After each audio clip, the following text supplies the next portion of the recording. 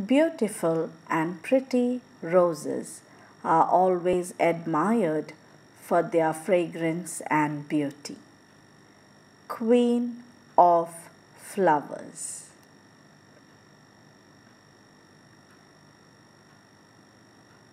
This beautiful world was created by God.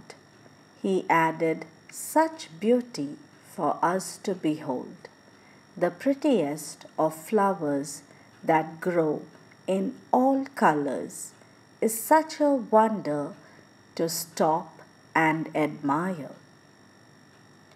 The Queen of Flowers, O man has named to the pretty rose to add to its fame. The lovely rose stands so tall among other flowers to suit us all. In various colors they bloom so bright, the rose is admired by all mankind. Through smiles and pain of every kind, a rose is used to convey feelings of all kind to make us admire the great Creator above. A pretty little rose can say it all. Our lives are filled with cheer each day, seeing God's creation in such a beautiful way. Roses are used around the world, beginning from the time of one's birth every stage and relationship is graced with beautiful roses on a lovely bouquet. A rose brings a smile on a pretty face to a close friend on their birthday.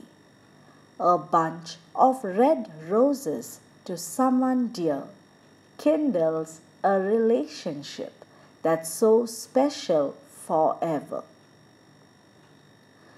Weddings are incomplete without the Queen of Flowers, for roses add beauty to all the decors.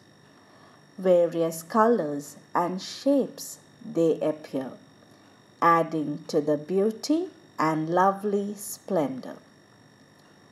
Next time we see a rose on a bush, or in a bouquet of flowers arranged on the table, or passing by the florist sitting in bunches. As we admire it, let us be reminded of God our Creator who has blessed us with all this.